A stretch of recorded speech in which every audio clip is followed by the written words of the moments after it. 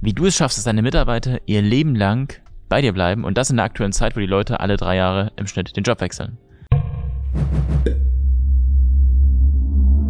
Herzlich willkommen zum Video. Mein Name ist Alex, Marvin ist wieder am Start. Hallo. Und wie du weißt, ist es ja so, dass die Mitarbeiter sehr häufig den Job tatsächlich wechseln.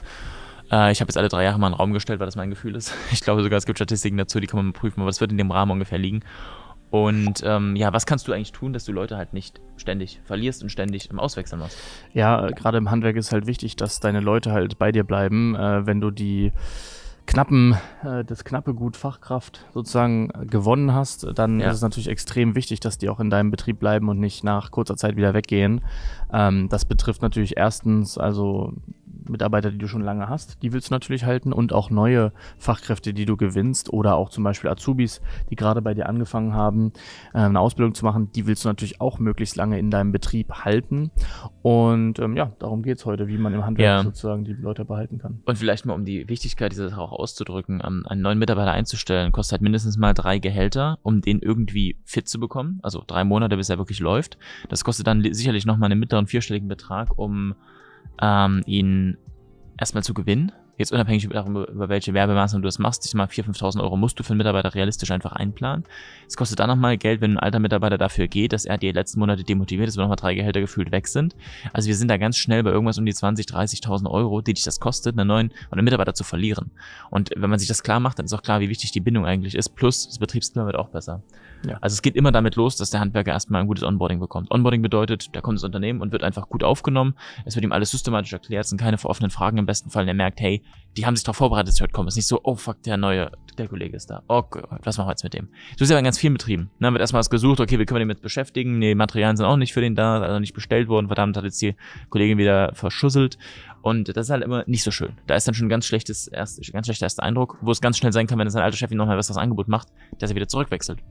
Und hier geht's einfach damit los, dass du dir mal eine vernünftige Onboarding-Mappe machst, am besten so ein was physisches, wo dein Unternehmenslogo auch drauf ist, wo einem alles klar erklärt wird, alle Materialien schon da sind, Fahrzeuge, was er braucht, schon da ist, äh, gegebenenfalls, wenn er im Büro arbeitet, PC und sowas schon alles vorbereitet und eingerichtet ist. Damit geht's halt los. So, das ist das Erste. Wenn er merkt, der ist gut willkommen, geht's halt weiter. Es sollte immer fair ablaufen. Ne? Also wenn er halt eine gute Leistung bringt, sollte er weiterkommen. Wenn er keine gute Leistung bringt, sollte er auch Möglichkeiten bekommen, sich zu verbessern.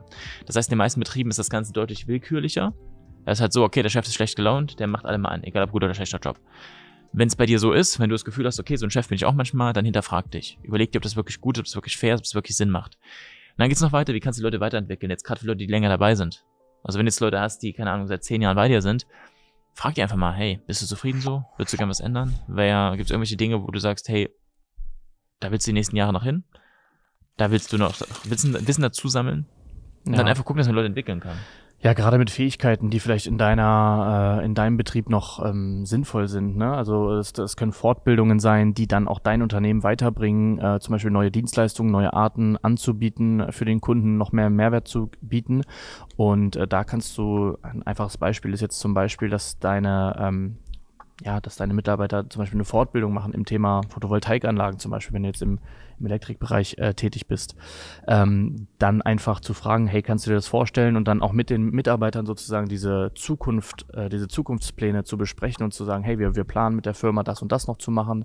Oder ähm, wir wollen uns hier in dem Bereich noch ausweiten, könntest du dir das vorstellen, da irgendwie eine Fortbildung zu machen oder so, ähm, einfach die Leute auch mal fragen, worauf sie Lust haben, weil dann, ähm, ja, beziehst du sie mit in die Pläne ein und sie können auch die Zukunft selber mitgestalten. Genau.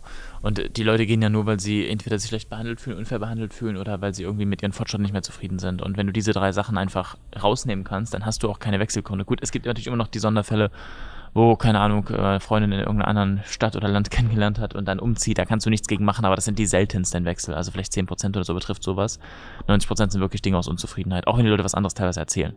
Na, aber die hätten würden nicht woanders hingehen, in andere Stadt vielleicht auch, wenn sie mit dir 100% zufrieden gewesen wären, oftmals. Ja, ich glaube, wenn man es mal runterbrechen soll auf so die wichtigsten Kernpunkte im Handwerk, dann ist es, glaube ich, zum einen ein wettbewerbsgerechtes Gehalt, ja.